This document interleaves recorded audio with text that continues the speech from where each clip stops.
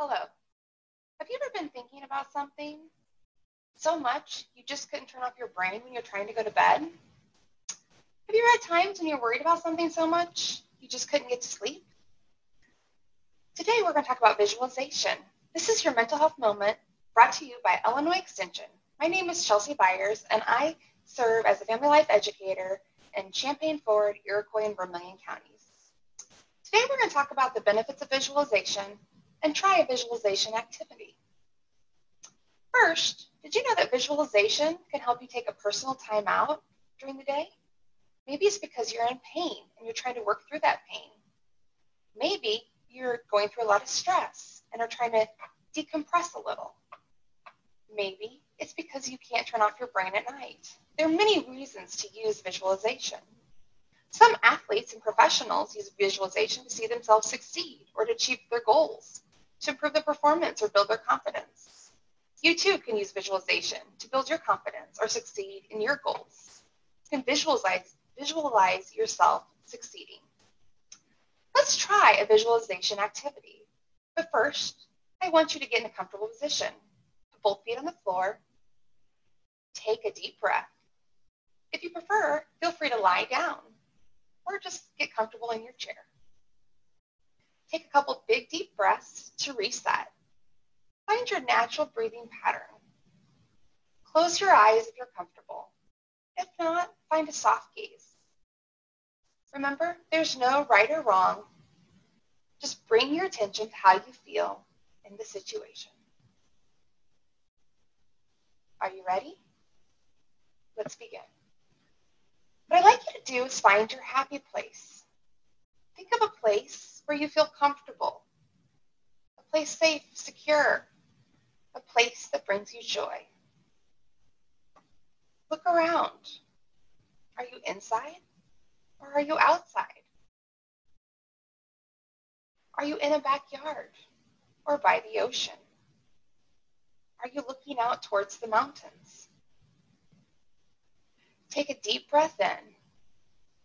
What do you smell? What can you feel? Are you sitting on something? Are you sitting on a bench, a log, in a comfortable chair? Is there anybody there with you? Do you see a box sitting there?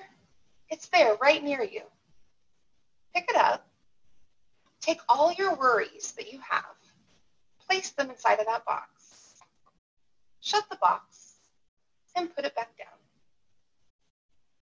You do not need to think about any of your worries for now. Take a deep breath in and blow it out. Enjoy the secure feeling of being in this happy place. Focus on all the things around you, what you can see, what you can smell, what you can feel, what you can hear. Take a deep breath in and breathe it out. Take a moment Look around your happy place. One more time. Come to this place whenever you are in need for a break, a place where you can set your worries aside for the moment. Now slowly come back from your happy place. Feel free to stretch. Slowly open your eyes and come back to us. What did you notice during this practice? What were you thinking or feeling during this activity? Oftentimes, people feel a sense of peace. Some people have a hard time getting into this activity. It just depends on the person. If you found this difficult, I encourage you to try it again. It's always one of those things to try more than once before you dismiss it. Now, when trying visualization, it is a good activity to help you with relaxing your body and giving your mind a moment of peace. It's a good way to help you manage stress and manage pain. No matter the reason for utilizing visualization, it gives you control over your present situation. It might not change your current situation, but it could help you lead to a good night's sleep, especially if you're a person who likes to think about things right before you go to bed. Think about trying to use visualization in those moments when you just need a break from the stress that's on your mind. This was your mental health moment. For more information on visualization or other activities like this, visit go.illinois.edu slash manage stress.